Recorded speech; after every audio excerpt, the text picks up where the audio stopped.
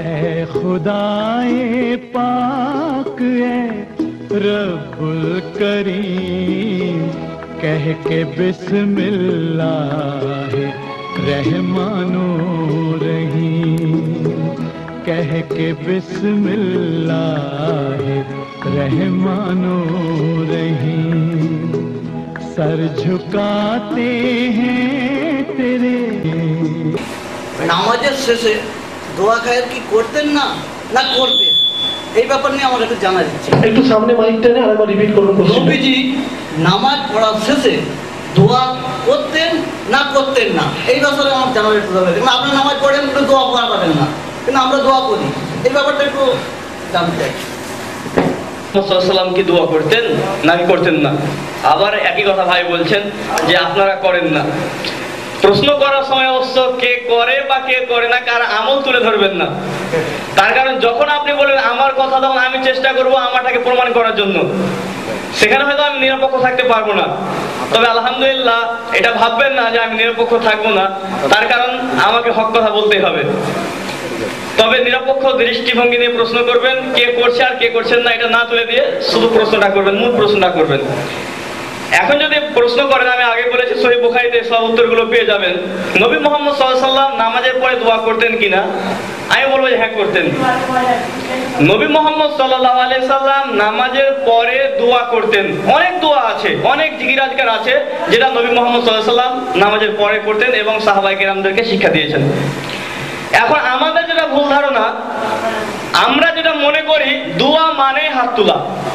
এটা হচ্ছে সমস্যার ব্যাপার। দোয়া মানে হাত তোলা। তো দোয়া মানে যদি হাত তোলা হয়, তাহলে আমি আপনাদেরকে বলি যে আপনারা পেচ্ছাপ পায়খানা গেলে দোয়া করেন কি করেন না? হাত তুলেন। কেন হাত তুলেন না? দোয়া মানে তো হাত তোলা মানে আমাদের মগজে ঢুকে দোয়া মানে হাত তোলা। হাত তোলা ছাড়া দোয়া হয় না। আপনারা যখন খাবার খেতে বসেন, তখন দোয়া পড়েন। হাত তুলেন। বিবির সঙ্গে মিলামেশা করার আগে দোয়া পড়েন। হাত তুলেন। দোয়া মানেই হাত তোলা নয়। আমরা, বিশেষ করে যারা হক কে মেনে চলে, কোরআন এবং সহি হাদিস মেনে চলে, তারা আল্লাহ তাআলা পবিত্র কোরআনে বলেছেন, সূরা আহজাব সূরা নম্বর 33 আয়াত নম্বর 21 লাকাদ কানা লাকুম ফি রাসূলিল্লাহি উসওয়াতুন হাসানা।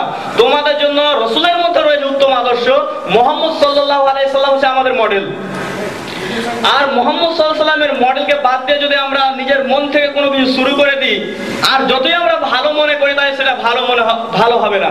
আল্লাহ তালার কাছে গ্রহণ হবে না। আল্লাহ পবিত্র কোরআনে বলেছেন, সুরা কাহাব সুরা নম্বর আঠারো, আয়াত নম্বর একশো তিন এবং চারে, বলো, আমি কি তোমাদেরকে তাদের সঙ্গে দেব?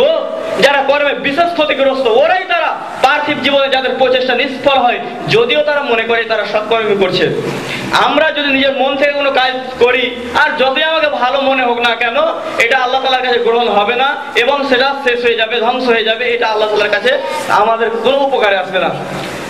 আল্লাহ রসুল সাল্লাহ সাল্লাম নামাজের পরে অনেক জিকির আজগার আছে, সেই সব জিকির আজগার আল্লাহ আকবর আল্লাহ অনেক জিকির আজগার আছে- দেখে নেবেন, সেই সবগুলো বিনা হাত উঠে- উঠিয়ে করতেন আর সহি বোখারির যে একটা হাদিস রয়েছে, যে নবী মোহাম্মদ সাল্লাহ সাল্লামের যুগে মহিলারা নামাজের জন্য মসজিদে আসতো। পুরুষদের পিছনে নামাজ পড়তো। এটা সহি বোখারি হাদিস প্রমাণিত। তারপরে বলা হচ্ছে যে নবী মোহাম্মদ সাল্লাহ সাল্লাম যখন সালাম ফিরাতেন সালাম ফিরা মাত্রই মহিলারা বিড়বিড় বিড়বিড় করে উঠে চলে যেত। তারপরে যখন মহিলাদের যাওয়া শেষ হয়ে যেত মানে মহিলারা বের হয়ে যেত তখন মহানবী মোহাম্মদ সাল্লামের সাহাবাই কেরামরা উঠে যেতেন। তাহলে এখান থেকে কি প্রমাণ হলো? যে মহানবী মোহাম্মদ সাল্লাম এবং তার সাহাবাই আমরা যদি হাত তুলে দোয়া করতেন, তাহলে আল্লাহ নবী সাল্লাম যেমনই সালাম ফিরালেন, মহিলারা চলে গেলেন, তার মানে হাত তুলে দোয়া করলেন না। সাহাবাই কেরামরা হাত তুলে দোয়া করলেন না। তাহলে এই হাদিস সুস্পষ্ট ভাবে প্রমাণ করছে যে দোয়া করতে হবে কিন্তু হাত তুলে নয় এই জায়গাতে। যে সব জায়গাতে হাত তুলে দোয়া করার প্রমাণ আছে, যেমন সহি বুখারীর যদি আপনি দেখেন যে পানি প্রার্থনা করার নামাজ, ইস্তিসকা নামাজের ব্যাপারে।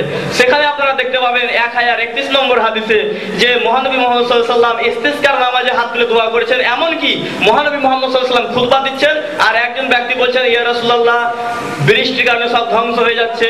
আপনি দোয়া করে দেন, আল্লাহ তালা যাতে বৃষ্টি দেয়। আল্লাহ নবী মোহাম্মদ সাল্লাম বলে না, ঠিক আছে, নামাজ তো পড়বে, নামাজের পরে দোয়া করে দেবো, যেমন অনেকে করে।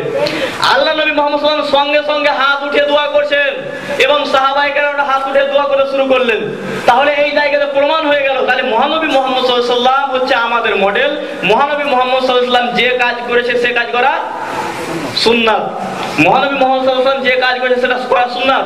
অনুরূপ ভাবে মোহাম্মদ যে জায়গাতে যে কাজ করেননি, সেটা সেই জায়গাতে না করা সুন্নাত।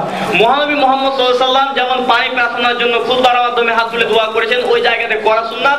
মহানবী মোহাম্মদ সাল্লাম ফরজ নামাজের পরে, পাঁচ ওয়াক্ত নামাজের পরে হাত তুলে দোয়া করেন এমনি জিকির আজগার করেছেন, সেটা সেখানে হাত তুলে দোয়া না করে এমনি জিকির আজগার করাই সুন্নাত। আশা করি বিষয়টা স্পষ্ট হয়েছে।